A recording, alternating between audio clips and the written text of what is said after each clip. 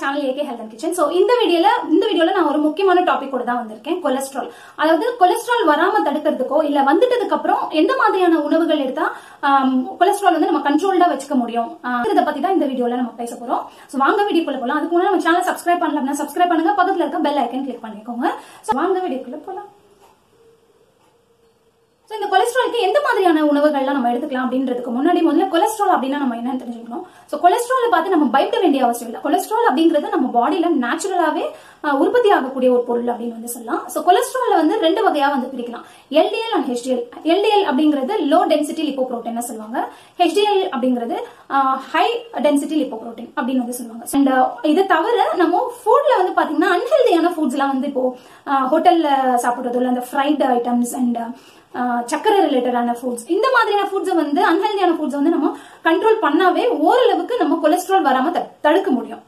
HDL and LDL அப்படின்னு சொன்னாலே இந்த ஹெச்டிஎல் தான் வந்து பாத்தீங்கன்னா நல்ல கொழுப்பு. இதை தான் நம்ம அதிகப்படுத்தணும். எல்டிஎல் அப்படிங்கிறது நம்மளுக்கு ஜென்ரலாவே அதிகமா அதாவது இதுதான் வந்து பேட் கொலஸ்ட்ரால் சொல்லுவாங்க. எல்டிஎல் அப்படிங்கிற பேட் கொலஸ்ட்ரால் வந்து நம்ம பாடியில வந்து எப்பவுமே நார்மலாவே ரொம்ப அதிகமா இருக்கும். இதை நம்ம சில உணவு முறைகளை வந்து இன்க்ளூட் பண்ணிக்கிட்டோம் அப்படின்னா நம்ம வந்து இந்த நல்ல கொழுப்பை வந்து இன்க்ரீஸ் பண்ணி இந்த கெட்ட கொழுப்பை டிக்ரீஸ் பண்ண முடியும். சோ அது என்னென்ன மாதிரியான உணவுகள் அப்படிங்கறத ஒன்னொன்னா வந்து பாத்துக்கலாம். ஃபர்ஸ்ட் ஃபுட் என்ன அப்படின்னு வந்து பாத்தீங்கன்னா பச்சை காய்கறிகள். சோ இந்த பச்சை காய்கறிகள்ல ஃபைட்டோ நியூட்ரியன் அதாவது ஃபைட்டோ அப்படிங்கிற ஒரு கெமிக்கல் இருக்கு. சோ அதனால நம்ம கொலஸ்ட்ரால் வந்து இதை கம்மி பண்ணிப்போம். கொலஸ்ட்ரால் அப்படி சோ ஜெனரலாவே இந்த கொலஸ்ட்ரால் என்ன பண்ணோம் அப்படின்னா நம்ம பாடியில இருக்கிற ரத்த குழாய்கள்ல அடைப்பு ஏற்படுது.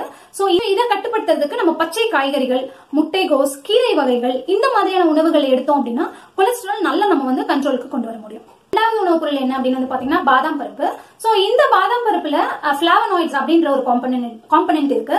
இது வந்து என்ன பண்ணுது அப்படின்னா எல்டிஎல்ல வந்து குறைக்கிறதா பல ஆய்வுகள்ல கண்டுபிடிச்சிருக்காங்க.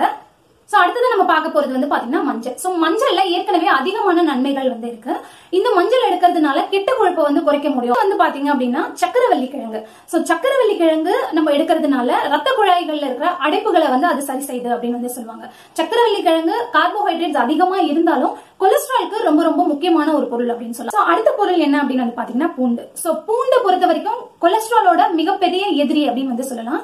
இந்த பூண்டை நீங்க ரெகுலர் பேசிஸ்ல எடுக்கிறது மூலமா உங்களோட கொலஸ்ட்ரால் லெவல்ல கண்டிப்பா வந்து உங்களுக்கு கட்டுக்குள்ள வச்சுக்க முடியும். சோ அவ்வளவுதான். இதோட வீடியோ முடியுது. இந்த வீடியோ வந்து உங்களுக்கு ரொம்ப யூஸ்ஃபுல்லா இருந்திருக்கும் நம்புறேன். இந்த வீடியோ உங்களுக்கு பிடிச்சிருந்தா லைக் பண்ணுங்க ஷேர் பண்ணுங்க கமெண்ட் பண்ணுங்க. ஏகே ஹெல்த் அண்ட் கிச்சனை மறக்காம சப்ஸ்கிரைப் பண்ணுங்க. அண்ட் நெக்ஸ்ட் உங்களை இதே மாதிரி வேற ஒரு நல்ல வீடியோல நான் உங்களை சந்திக்கிறேன். அதுவரை நன்றி வணக்கம்.